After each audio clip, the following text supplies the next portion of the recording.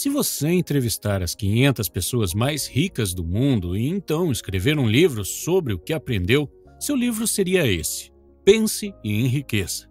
Foi escrito em 1937 por Napoleon Hill com a ajuda de Andrew Carnegie, um dos homens mais ricos de seu tempo. Ainda hoje é um dos livros de desenvolvimento pessoal mais famosos do mundo. A maioria dos livros de desenvolvimento pessoal atuais tirou lições deste livro. Hill apresenta 13 princípios em sua obra, e neste vídeo vamos falar sobre nove deles. Primeiro princípio: o desejo.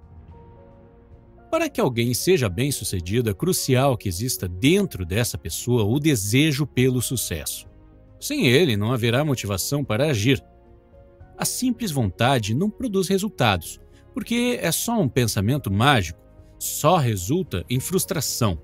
É necessário um desejo ardente e profundo por um propósito, que automaticamente resultará em ações que terão resultados concretos. Quando você se concentra no desejo, é consumido pela sensação de ter aquele objetivo em sua vida. Você imagina como será a sensação de chegar lá, e é esse sentimento que o empurra para ações que o trazem resultados. Você não vai se importar de trabalhar no seu propósito 10 horas por dia, às vezes de madrugada. Você vai dormir e sonhar com ele, acordar, voltar a trabalhar nele. Quando se tem um desejo assim, você nunca diz para si mesmo: se não funcionar, vou fazer outra coisa. Você entra de cabeça e não vê outra opção para si. Em 1519, o capitão Hernán Cortés desembarcou em Vera Cruz para iniciar sua grande conquista do Império Azteca. Na chegada, Cortés e seus soldados logo perceberam que estavam em um número muito menor do que os astecas e que havia uma chance muito pequena de vencerem. Capitão Cortés tinha um desejo fortíssimo pela conquista. Ele a desejava acima de tudo então ele ordenou seus soldados que queimassem os navios que tinham os levado até ali. Queimar os navios enviou uma mensagem muito clara para os soldados: ou venceremos ou morreremos. Não há como voltar para casa. Como resultado, Cortés venceu a batalha apesar da enorme diferença entre os dois exércitos. Essa história é um bom exemplo para explicar o ponto de vista do autor sobre desejo. No livro, Rio ensina um método de seis passos que qualquer pessoa pode usar para transformar seu desejo em realidade. Número 1. Um, fixe em sua mente a quantidade exata de dinheiro que deseja alcançar. Número 2. Determine exatamente o que está disposto a fazer para chegar lá. Número 3. Especifique uma data exata até a qual você quer ter atingido este objetivo. Número 4.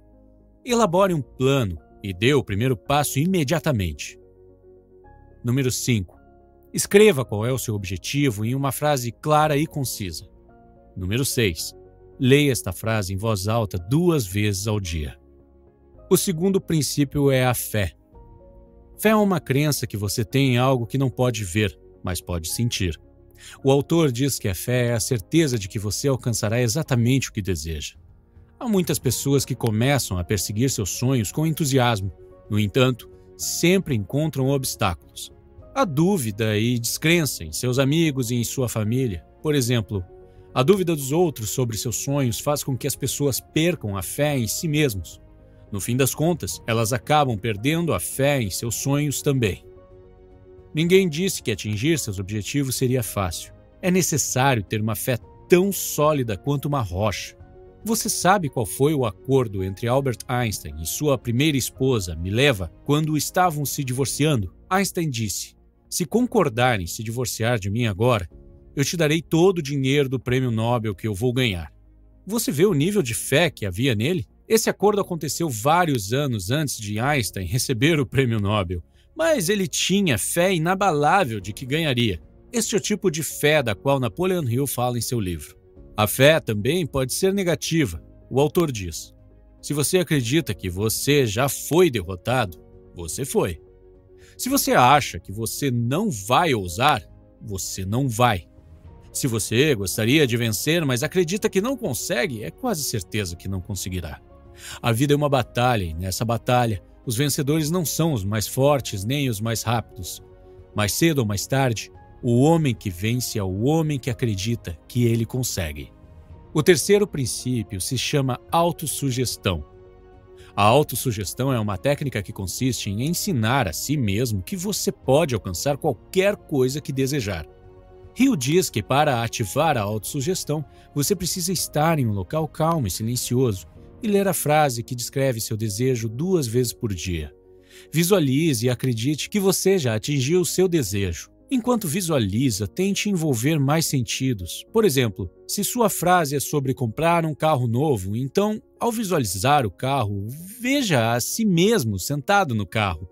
Tocando no volante, imagine-se ouvindo o barulho do motor, sinta o cheiro do couro dos bancos. Visualize o orgulho e a alegria da sua família e dos seus amigos quando você levar para dar um passeio.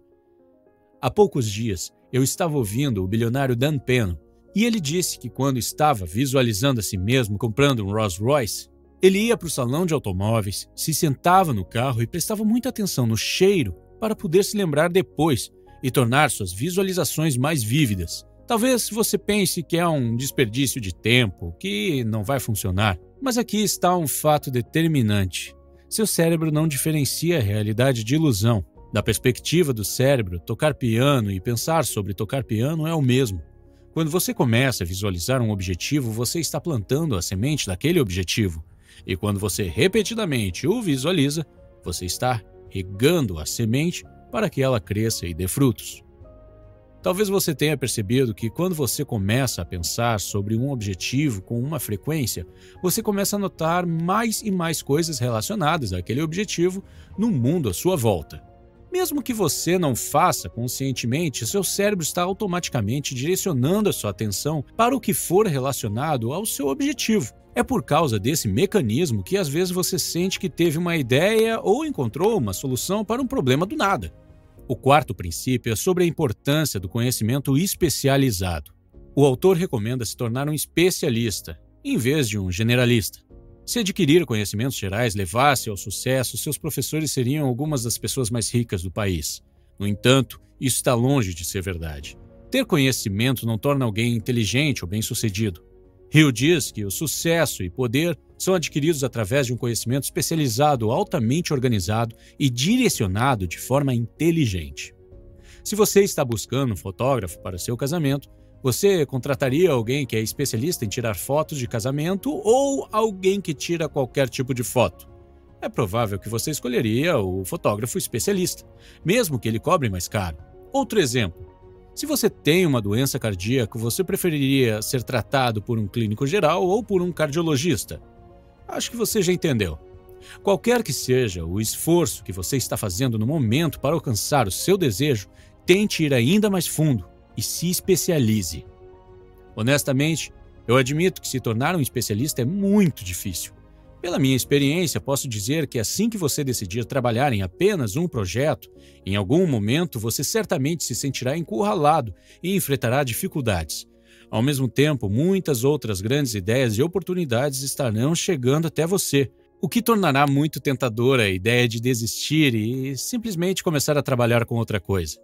Por favor, resista. Desistir é a pior coisa que você pode fazer. Esse tipo de comportamento pode até ser patológico. É a chamada Síndrome do Objeto Brilhante, o que significa que você tem dificuldades para se manter focado em apenas uma coisa e muda de ideia frequentemente, buscando sempre o que te parecer mais atrativo no momento. O quinto princípio é a imaginação. A imaginação é literalmente a oficina onde todos os planos são criados pelo homem.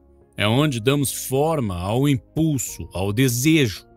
Damos início à ação com a ajuda da imaginação. Se você consegue imaginar, então consegue fazer, disse Napoleon Hill. Todas as coisas são criadas duas vezes: primeiro na imaginação do Criador e depois no mundo físico ou virtual. Grandes invenções que você vê, como Google, YouTube ou Facebook, começaram como uma simples ideia na mente de seus criadores e então receberam sua primeira forma no laboratório imaginário antes de se tornarem produtos reais. Einstein, certa vez, disse que a imaginação é muito mais importante que o conhecimento. Enquanto conhecimento e lógica te levam do ponto A ao ponto B, a imaginação pode te levar a qualquer lugar. Talvez agora você esteja dizendo: Ok, parece tudo muito sofisticado, científico, mas eu não tenho uma imaginação fértil e nem sei como torná-la melhor. Antes de responder, vou te dizer uma coisa. Imaginação é como um músculo. Quando mais você treina, mais forte ele fica. E o problema é que a maioria de nós deixou de treinar nossa imaginação depois que saímos da infância. Talvez seja porque a sociedade passou a nos dizer qual caminho deveríamos seguir e o que deveríamos fazer em certas situações. Então, gradativamente perdemos nossa capacidade de imaginar. Se você não tem imaginação fértil, então você precisa começar a treiná-la da mesma forma que você vai à academia e treina seu corpo. E o nome da suposta academia onde você treina sua imaginação é experimento mental. O experimento mental é simplesmente uma situação ou autoconhecimento que você imagina que aconteceu com você. E então, tenta pensar nas possíveis reações, respostas ou soluções que encontraria. Se você assistir ao filme sobre a vida de Einstein, perceberá que ele faz quase todas as suas descobertas usando experimentos mentais. Um pequeno exercício que eu gosto de usar para treinar minha imaginação é constantemente olhar para os produtos, sistemas e negócios ao meu redor e tentar pensar o que eu faria de diferente ou como eu poderia melhorá-los. O sexto princípio é o planejamento organizado. O autor explica que para ter sucesso é preciso ter um plano concreto. Este plano deve ser uma forma de atingir o que você deseja. Leve o tempo que for necessário para elaborar um plano e o anote. Assim que tiver deixado tudo por escrito, as chances de que se torne realidade aumentam sempre se certifique de escrever seus planos. Então, siga em frente e divida seu plano em partes, objetivos menores e viáveis. Hill diz também que o processo de planejamento deve ser contínuo e persistente. Mesmo quando você enfrentar dificuldades e falhas, nunca desista e continue a trabalhar na sua ideia e ajustar seus planos. O sétimo princípio é a decisão. A capacidade de decidir rapidamente e com determinação vem quando temos um propósito bem definido e a compreensão exata do que desejamos. Rio diz que se você costuma ser facilmente influenciado pelas outras pessoas e demora muito tempo para tomar decisões, isso pode significar que você não tem um desejo ardente. Você deve usar os seus próprios pensamentos, ideias, corpo e alma para tomar suas decisões e defendê-las. A maioria das pessoas que não conseguem alcançar seus objetivos são aquelas que são influenciáveis. Elas permitem que a mídia e os vizinhos fofoqueiros pensem por elas. Opiniões são as mercadorias mais baratas que existem. Todo mundo tem. Você vai escolher a opinião de quem? A sua ou daquele seu colega que não faz ideia de quais são seus planos? Até mesmo nossos pais, nossa família e parentes próximos podem nos prejudicar com zombarias ou piadas, mesmo que não seja a intenção deles. Milhares de homens e mulheres levam consigo complexos de inferioridade porque alguém destruiu sua confiança através de opiniões e humilhações. Você tem a sua própria mente. Use-a para tomar as suas próprias decisões. Se você precisa de fatos ou informações de outras pessoas, busque silenciosamente sem necessariamente ter que revelar qual é o seu propósito. Ou fale com o seu grupo Mastermind. Falarei mais sobre o grupo Mastermind no último princípio. Por enquanto, faça com que uma de suas primeiras decisões seja manter a boca fechada e os olhos e ouvidos bem abertos. Princípio 8: Persistência. A persistência é um fator extremamente importante que determinará o seu sucesso na vida. Hill diz que este é um hábito importante que você precisa desenvolver para ter sucesso em seus objetivos. A persistência é a qualidade mais importante que diferencia vencedores e perdedores. Não importa no que você comece a trabalhar, em algum momento ficará mais difícil e chegará um ponto em que tudo ao seu redor te fará pensar em parar. O autor diz que é exatamente nesse ponto que os homens são separados dos meninos. No livro há um exemplo para mostrar o nível de determinação que devemos ter para lidar com momentos difíceis. Um é sobre o famoso Thomas Edison. Hill diz que Thomas Edison falhou mais de 10 mil vezes em suas tentativas, mas continuou a persistir e a trabalhar em seu experimento, apesar de todas as vezes que fracassou, até que conseguiu terminar sua invenção, a lâmpada. Outro grande exemplo é o fundador do KFC, Colonel Sanders. Não como muito fast food, mas quando tenho que comer, sempre escolho o KFC. E não é por causa do sabor. É simplesmente por causa do meu respeito pelo fundador da empresa. Aos 65 anos, ele criou a sua receita e passou a visitar diversos restaurantes tentando licenciá-la, mas era constantemente rejeitado. No total, ele foi rejeitado 1009 vezes. Finalmente, o restaurante número 1010 disse que sim, e foi assim que o KFC nasceu. Muitos de nós teriam parado de tentar após 10, 50, 100 rejeições, mas ele persistiu até o fim. Uma atitude que acredito que merece maior respeito. Esse princípio, histórias como essa, me ajudaram muito na hora de criar este canal. Comecei a trabalhar neste canal há três anos, mas não conseguia criar um vídeo que fosse bom o suficiente. Finalmente, depois de muitos testes, confirmei que a qualidade do vídeo estava ok, mas então me deparei com outro problema. Ninguém queria compartilhar o meu conteúdo com seus seguidores para que as pessoas pudessem conhecer e entrar no meu canal. Por fim, até mesmo as pessoas próximas a mim, que apoiavam o canal, perderam a fé e foram embora. No total, entrei em contato com mais de mil páginas de Facebook, influenciadores, youtubers e até mesmo contatei individualmente pessoas que poderiam ter interesse mas recebia constantemente respostas negativas ou nenhuma resposta. Pouquíssimas pessoas mostraram apoio. Finalmente, recebi três respostas positivas. E a parte mais interessante é que todas as respostas positivas vieram na mesma semana. E aquela foi justamente uma semana muito difícil na qual eu estava a um passo de desistir. Se você está aqui neste canal, é por causa do princípio da consistência. Por favor, não me entenda mal. Não estou contando essa história para me gabar. Estou apenas tentando mostrar a aplicação prática do princípio, porque pode ser difícil se identificar com histórias sobre Thomas Edison ou KFC, mas eu sou apenas uma pessoa como você que está tentando melhorar. Princípio 10 O poder do Mastermind. Napoleon Hill foi a pessoa que popularizou o conceito de Mastermind, que podemos chamar em português também de grupo idealizador. Ele acredita que ninguém consegue ter sucesso sem a ajuda de outros.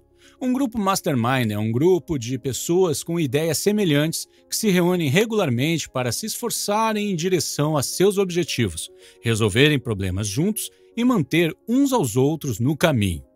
Em termos simples, a combinação de experiências e inteligências traz uma série de vantagens econômicas. Por exemplo, quando você está cercado de pessoas que pensam da mesma forma que você e que estão sempre se esforçando para obter mais sucesso e melhores resultados, você pensará e agirá como eles. Você será então influenciado pelas pessoas ao seu redor de forma positiva e se tornará como elas. Por outro lado, quando você se cerca de pessoas preguiçosas e negativas, você segue o mesmo padrão e se torna um preguiçoso e negativo. Tenho certeza de que você já ouviu o ditado: você é a média das cinco pessoas com quem passa a maior parte do seu tempo. Se você puder, recomendo a leitura deste livro. Também recomendo assistir o filme criado com base nele. O filme também tem tradução para o espanhol.